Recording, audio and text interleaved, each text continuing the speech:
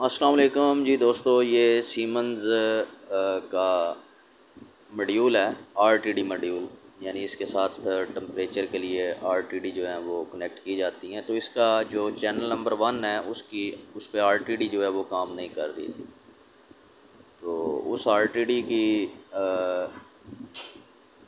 Voltage की जो scaling है, जहाँ पे हो रही है, ये मेन आईसी लगा हुआ है तो वहाँ पे एक रेजिस्टेंस जो है वो एसएमडी ख़राब थी। वो चेंज की है तो अल्हम्दुलिल्लाह ये मसला हल हो गया।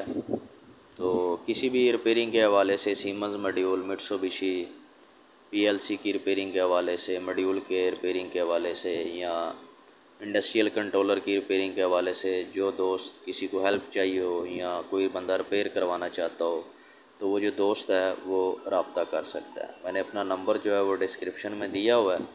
तो जिस दोस्त को भी कोई हेल्प चाहिए हो या